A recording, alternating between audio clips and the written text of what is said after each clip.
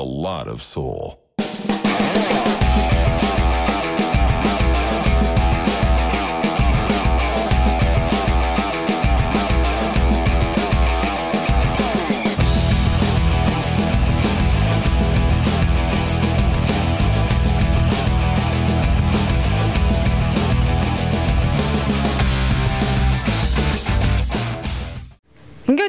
Үзэгчтэй альфа дуучин баяр цэглэгээ бид нар өөрийнх нь хүсснээр харан хамтлагийн дуучин лав сүрэнтэй болуулаад байна. Юуны төрөнд үзэгчтэйхээ өмнөөс баяр цэглэлийн өмнөөс танд талархсан илэрхийлэл энэ өдрийн минь аяа. Баярлалаа. Та бүхэнд энэ өдрийн минь төргий.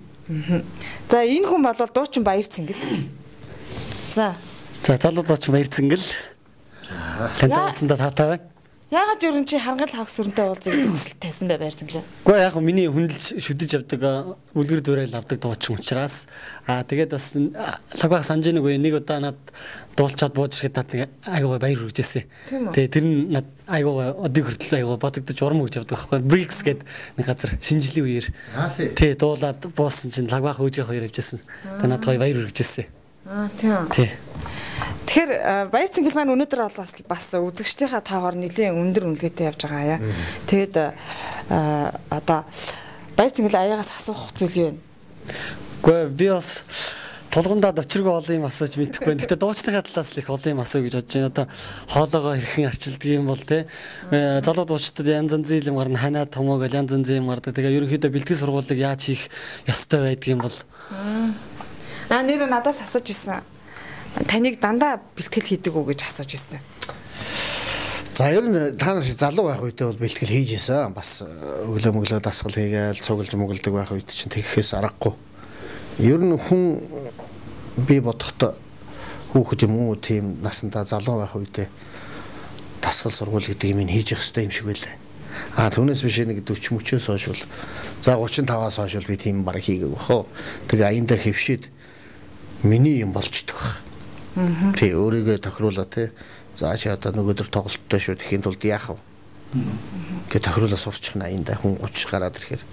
Тэр болтол бол сургууль соёл дасгалыг бол хийж л байх хэвээр. Аяа ер нь та одоо энэ баяр цэнгэлийн үеийн дуучдад хэлмээр санагддаг үг байдаг уу? Энд тийм таарлахаараа жишээлбэл та түрүүн таарлаад баяр хүргэсэн гэж байна. Гэхдээ би тэр чи яг сайхан дуулж байна тийм ээ. Юмаа сайхан хий гэж чинь тэгээд баяр хүргэж байна. Ер нь хэлэх юм юу юм гэхээр ийм сайхан жаргалтай цаг үе л одоо хайрлж амьдраарай л гэж хэлнэ шүү. Тийм чи их жаргалтай цаг үе шүү дээ. Та жишээлбэл баяр цэнгэлийн насан дээр дуулж байхад цаг үе тэгэхэд ч юм бол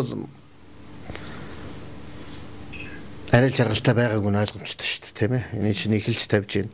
Манад одоо хамгийн том рок хамтлаг нь харангалагч байгаа шүү дээ. Тэгэхээр чин тэд нар чин аргарын зохицуулна, аж амьдралаа зохицуулна, удам судраа зохицуулна. Тэгээд бас улсынхаа рокийг бодно шүү дээ. Тэ. Тэгээ одоо эдэнд бол арай л хөнгөрсөн гэж би бодож байгаа. Тийм учраас ийм сайхан цаг үе ашиглах хэрэгтэй. Жишээлбэл одоо бол аяа сошиал ертөнцид их нээлттэй өөр ингэсэн пэйж хуудастай маш олон одоо дагагчтай болцсон байж байгаа. Аа баяр цэнгэл эднэр эднэр ч гэсэнтэй одоо ингээл өөрсдөө яг интернетээр шин дуу гарангуудаа шууд хүмүүст хүрчихэж байгаа жишээтэй л байгаа л та. Тэг ер нь ингээд сайхан цаг үе гэдэг нь ингээд илт байгаад байгаа байхгүй тий. Тэр ертөнцид чи ингээд хүмүүс ингээд хүлээгээ байж байгаа хана шүү дээ. Баяраа яах нь вэ? Баярлуулах нь үгүй юу гэдэг. Тэг баярлуулж л явах хэрэгтэй юм. Ер нь бол дуулдаг, хуурддаг урлагийн хүмүүсийг олноо баясгагч гэдэг юм байна шүү. Тий. Олныг баясгах хэрэгтэй юм байхгүй. Өөрөө хичнээн зовлонтой байсан ч тэрийг бүгдийг мартаад бусдыг баясгадаг л энэ ямиг л эндээ олж авах хэрэгтэй. Бусдыг та нар чадна уу? Баяр цэнглийн дуулж дуулж байгаа стилийн мэднэс дээ аяа. Мэдж байна. Яадал гээд. What ингээд л. Танд анх ямар санагдчихсан бэ? Гэхдээ ерөөсөө над энэ чинь би чинь энэ- юмны чинь л их усүрийн нэг шүү дээ. Энэ чинь янз янз мод шиг л салаалаад ургаж байгаа шүү дээ. Бүжигэлдэг дуулдаг нэг хэсэг, бүжигэлдэг дуулдаг нэг хэсэг, хөгжимдөд дуулдаг нэг хэсэг тийм биз дээ. Өглөн дуулдаг нэг хэсэг өчнө олон салбар. өөрчлөлөөс асуух юм байна уу? Асуух юм байхгүй. Дүүн Манайхан бүгдээрээ байхгүй гэдэг байгаа хүмүүс. Гэхдээ яг толгодлохоор ингээд энэ, э, дүүн ийм яодл гээд нэг урлагаар CD гаргасаа. Тэгээ танд миний анхны CD болж гарсаа танд орсгоо.